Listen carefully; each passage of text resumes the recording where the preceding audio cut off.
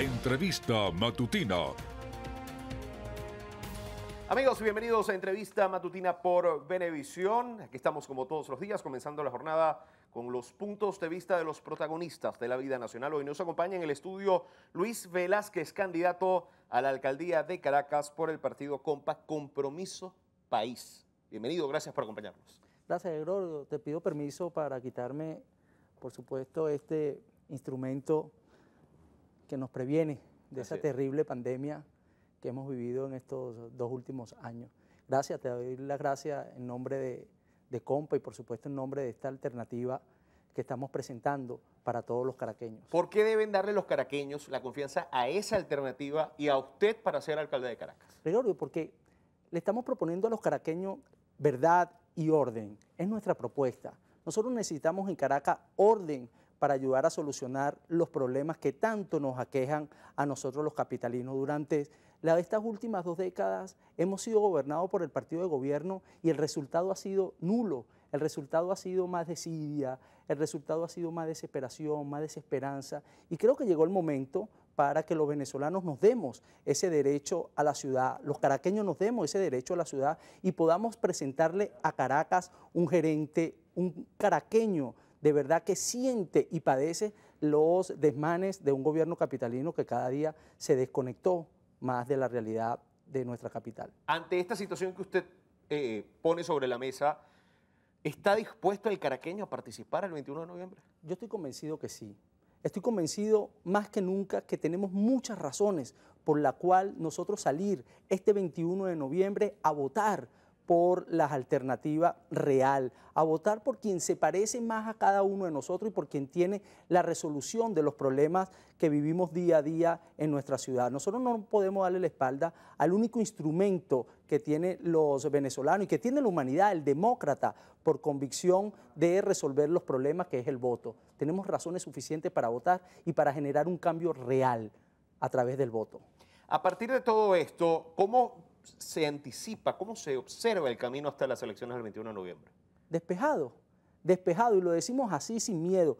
Los conflictos políticos, la guerra que hemos vivido durante 21 años entre unos y otros, definitivamente llegó a su fin. Este es el momento que tenemos todos los venezolanos, esa conciencia crítica, esa nueva conciencia venezolana para darle paso a la paz y al progreso. Y la única manera que lo podemos hacer es iniciando este camino de la democracia, eh, perdón, este camino del voto, iniciando este camino para fortalecer nuestra idea y poder resolver nuestros problemas en paz y en democracia, que es lo más importante que los demócratas tenemos que tomar en cuenta. ¿Qué lo avala usted en cuanto a capacidad para gerenciar la alcaldía de la capital de la República? Esa es una extraordinaria pregunta porque es lo que los caraqueños nos preguntamos y decimos, ¿cuál es la diferencia entre la propuesta que está llevando Luis Velázquez a la alcaldía de Caracas y la propuesta de los demás candidatos? Lo decimos eh, muy sencillo.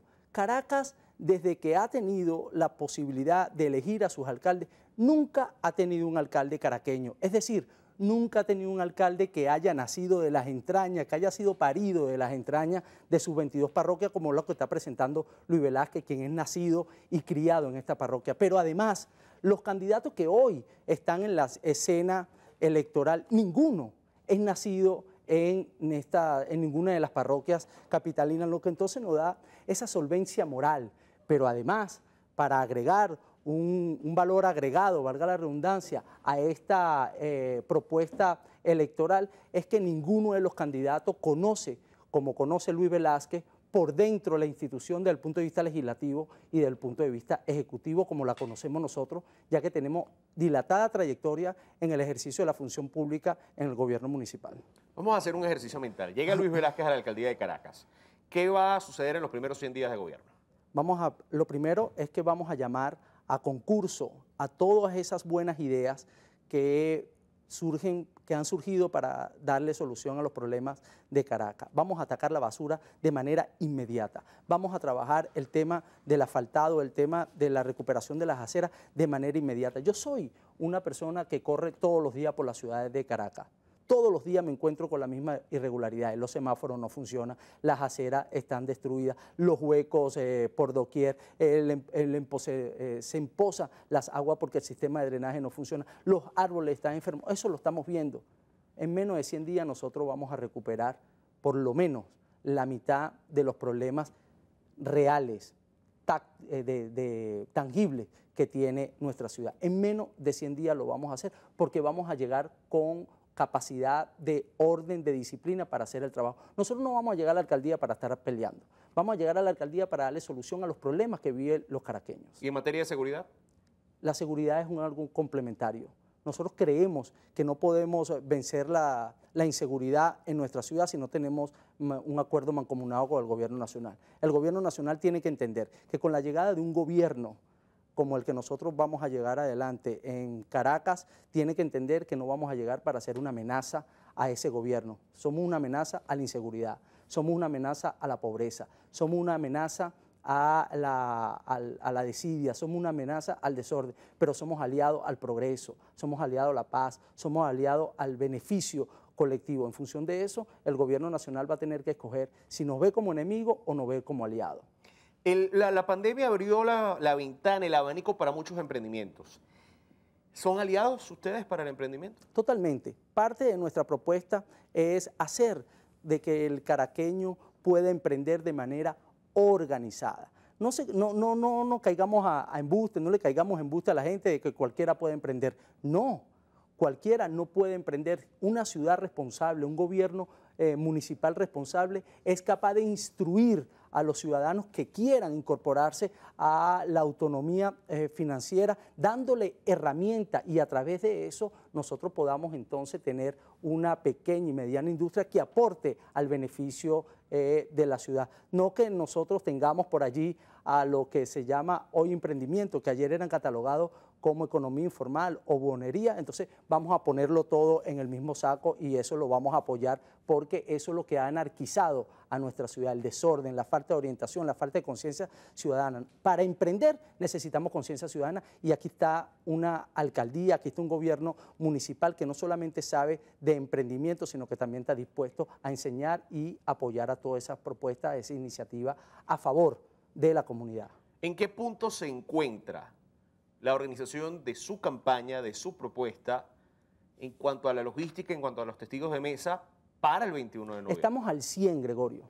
Estamos al 100. Nosotros creemos en el buscavoto, nosotros creemos en el cuidavoto, pero sobre todas las cosas nosotros estamos caminando, estamos evangelizando, estamos catequizando al ciudadano a decirle que hay una alternativa distinta, que hay una Caracas que es posible y que juntos la podemos lograr. Más que un eslogan, le decimos a los caraqueños, tú y yo somos iguales porque padecemos las mismas, eh, los mismos problemas, pero tú y yo somos iguales porque tenemos nuestra solución en las manos. En nuestras manos está la solución a los problemas de Caracas. Y por eso que pensando más allá en lo electoral, nosotros pensamos en las próximas generaciones porque merecemos y tenemos derecho a la ciudad y merecemos y tenemos derecho a que nuestro relevo pueda vivir en una ciudad real, en una ciudad adecuada y que inicie los primeros pasos para que se incorpore en el primer mundo. Es la capital de Caracas, no es, la, perdón, es la capital del país. No es cualquier ciudad de la que estamos hablando, es Caracas, es el municipio libertador. Son 22 parroquias con grandes problemas que tenemos, pero que lo que le hace falta es amor, cariño, decisión, determinación y sobre todo ese sentido de pertenencia. Ningún candidato de Caracas puede sentir a Caracas como de él porque sencillamente nunca ha vivido en ella como lo hemos hecho nosotros. No se puede gobernar, ya mencionaba de ser aliado del gobierno nacional, de buscar, trabajar con el gobierno nacional para solucionar los problemas de los caraqueños. Es la mancomunidad. Pero esa mancomunidad puede existir con el cuerpo legislativo del municipio también. Por supuesto, claro que sí. Es que debemos ser gerentes. Si nosotros vamos a gobernar esta ciudad como, como un vengador, como un espadachín, y entender que la alcaldía del municipio Libertador la vamos a utilizar para inmediatamente eh, empezar a, generar conflicto, entonces sencillamente el venezolano, el caraqueño, no tiene eso como una opción. Va a seguir continuando con lo mismo y lo hemos dicho hasta, hasta la saciedad. Si usted quiere seguir en ese combate de 21 años, donde propios y extraños, donde nuestros propios hermanos se han caído a golpe y los resultados han sido negativos, usted tiene la opción de votar por eso. Nosotros estamos presentando paz, bienestar, progreso, desarrollo, solución, resolución de los conflictos. Y para eso no necesitamos pelear, para eso necesitamos entendernos, para eso necesitamos reconocernos, pero sobre todas las cosas, para eso necesitamos querernos como caraqueños, porque esta tierra es de todo, esta tierra es de nosotros y nosotros la tenemos que rescatar, nosotros la tenemos que defender y en función de eso es que nosotros estamos trabajando y vamos a gobernar para todos los caraqueños por igual. ¿Hay pensado algún tipo, y vuelvo e insisto en la palabra porque la he utilizado, mancomunidad, y ha hecho énfasis en eso? Caracas Libertadora es una parte importante, pero Caracas eh, hay mucho, mucha gente Libertador que hace vida en Sucre, que hace vida en Baruta, que hace vida en El Atillo, que hace vida en Chacao. ¿Cómo poder establecer un, una, un esquema de trabajo conjunto con cada uno de esos municipios para, mejorar la vida de todos los caraqueños? Para eso teníamos el gobierno metropolitano, quien te habla eh, dirigió, liderizó el, Cabildo Metropolitano de Caracas, fui presidente de esa institución durante un periodo importante y lo que nos hace pensar en esa gran Caracas es un proyecto que trasciende a la posición individual de cada municipio. Nuestras mejores relaciones seguramente van a ser con el alcalde de Chacao, de Baruta, de Latillo, pero también las mejores relaciones tienen que ser con el gobierno del Distrito Capital para poder darle solución. Mira, el problema de la basura no lo podemos resolver uno solo. El problema de los servicios públicos no lo puede resolver uno solo. El problema del transporte no lo puede resolver uno solo. Por eso insisto en que esa mancomunidad tiene que ser fortalecida si existe la voluntad y la disposición política de quien le habla, principalmente de poner y abrir las manos para darle la solución a los problemas. Ningún alcalde, y eso, y, esto, y quiero aprovechar esta, esta oportunidad para decirle, si a usted, caraqueño, viene alguien, le dice que le vamos a resolver el problema de la luz, que le vamos a resolver el problema de la electricidad, eso, del agua, ese le está diciendo embuste, porque ningún alcalde tiene esa potestad. ¿Por qué? Porque lamentablemente el gobierno central, el gobierno nacional ha secuestrado todo eso para que el gobierno municipal o estatal pueda desarrollar políticas públicas verdaderamente eficientes. Ah, pero nosotros lo que sí proponemos es que vamos a trabajar en conjunto para que ese problema del agua, para que ese problema de la electricidad, para que el Paraíso, San Juan, San Agustín, San Pedro, Santa Rosalía, Macarao, Antímano y La Vega, más nunca se queden sin el servicio de, de luz, más nunca se queden sin el servicio del agua porque van a tener un gobierno municipal responsable, restiado no solamente para solucionar los problemas, sino restiado con los vecinos, con los habitantes, con los ciudadanos de nuestra 22 parroquia de Caracas. Gracias por acompañarnos hoy. Gracias a ti, Gregorio, y muchas bendiciones para ese pueblo venezolano que tanto eh, necesita de la mano de Dios y sobre todo del apoyo mancomunado de todos y cada uno de los venezolanos. Gracias por acompañarnos hoy. Muchas gracias, Gregorio, y le doy las gracias a este canal, le doy las gracias a todos quienes nos han escuchado, porque Venezuela necesita de esa gran bendición esa gran bendición de Dios y que todos juntos podamos contribuir con el desarrollo, la paz y el progreso que tanta falta le hace a nuestro país. Estuvo con nosotros Luis Velázquez, candidato a la alcaldía del municipio Libertador, a la alcaldía de Caracas por el partido Compa Compromiso País en entrevista matutina por Benevisión. Amigos, gracias por acompañarnos, que tengan una excelente jornada, continúen con más del bloque informativo de la mañana de Benevisión. Fuerte abrazo.